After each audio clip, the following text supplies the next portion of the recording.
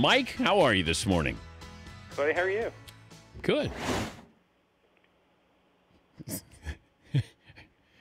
you okay? What? Oh, What did I miss? oh no, no. I, I, I didn't know if you had more to expound upon. Than how No, I'm great. I'm Oh, happy. okay. We're heading to New York a day early this weekend. My son and my wife coming with me. We're going to have a good time. It's, it's, a, it's a great day. It's You got an week. update? You got an update on Luke Kuechly?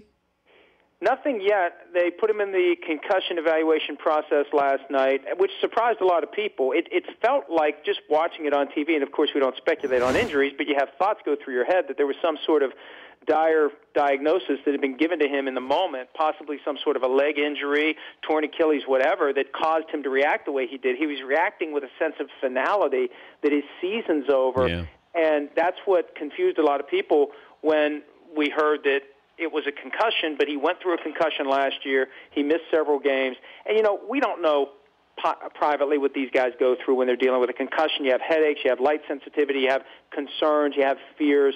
And, um, you know, he, he presumably does not want to go through again what kept him out of action for nearly a month in 2015. Yeah, I didn't know if people talked about his knee at all because it was bent awkwardly, and I, I don't know if you know in the moment like there's something really severe with a concussion, as you do a knee injury, the shortness of breath. So I thought it was more of those than it was the concussion that had him so emotional. Yeah, I mean that's that's what I thought that they were going to have to lift him up. That's what surprised me when he stood up and got on the cart. That well, wait a minute, I thought he had a broken leg or something where the doctors came out and said, "Hey, look, buddy, you're done. Um, you know, we're gonna you got you, you have whatever injury it is that is going to keep you out for the rest of the year." That was how I interpreted the the reaction. But uh, you know, he's been there with that concussion, and when you love the sport, you love your teammates, you want to be available, and you go into this great unknown of when you're going to get cleared to play again, and you're going to be missing games while this team is trying to turn things around and get back into the playoff chase. It's it's you know it's it's a tough moment for a guy who clearly has given a lot of himself to his profession.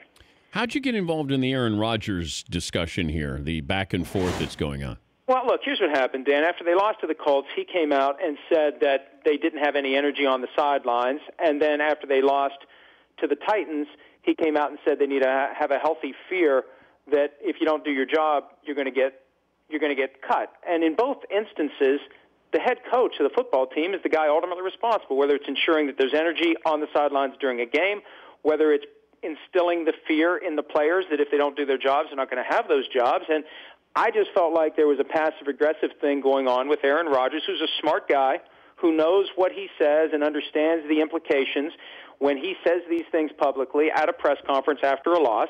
I I just read that and I interpret that as there's a problem between him and his head coach. And you know, what, whatever he said, it, it prompted Mike McCarthy to pull the Stuart Smalley routine on Monday, where he says, "I'm a highly successful NFL coach." Whoever says that, but regardless of how successful you are, you don't come out and say that. And it just led me to believe that there's real tension between these guys, and that's what prompted someone at his locker to ask him about it. And he said the criticism of McCarthy is ridiculous. I wish somebody would have followed up by saying, "Well, but Aaron, who, who were you criticizing when you said?" that there wasn't energy on the sidelines? And who are you criticizing when you're saying that there isn't a healthy fear that guys are going to lose their jobs if they don't do their jobs? So I think there's more to this, and I tend to think I struck a nerve. And uh, hey, look, I bet you know when you do this as long as we have, Dan, you get called out a lot. I, I really don't care about it anymore. Um, as long as I get my name right, and he did, you know, I'm fine with it. I because I, I don't think I did anything that that is quote unquote wrong. I think it's an accurate read on the situation. And uh, you know, if if it's not, then why is he saying these things publicly? So you're you're okay with any publicity is good publicity, even if Aaron Rodgers is critical of you or your website. Oh, absolutely, absolutely. I, I absolutely. Yeah, any publicity is good publicity as long as they get your name right. Absolutely. What With would some limited exceptions. But this one, I they played it on ESPN. What the hell were they thinking at ESPN? I thought that was great. it's not like people are going to suddenly stop coming to the website. If they think it's a bunch of crap, they'll come check it out and see if it is crap. And if, if it is, I'll stand on my crap. I, I take pride in my crap. And uh, I, I tend to think that far more often than not, we have an accurate read on what's happening at the NFL level. And, uh, you know, sometimes people don't like it. I think that's what this comes down to. I've been reading the Jeff Pearlman book about Brett Favre. And, you know, it's a different mindset in Green Bay. And the, the media isn't as aggressive as, say, it would be in New York.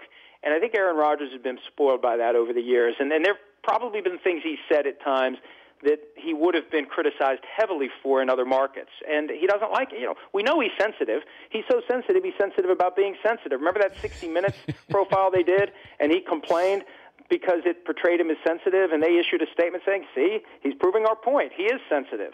So it doesn't surprise me that it landed on his radar screen. It doesn't surprise me he reacted. And I, I mean, I still got to do what I think's right, and I got to say what I think is right. We're trying to service the audience, and uh, if somebody calls me out for it, you know, I just it's, you just kind of let it roll off your back and you keep moving.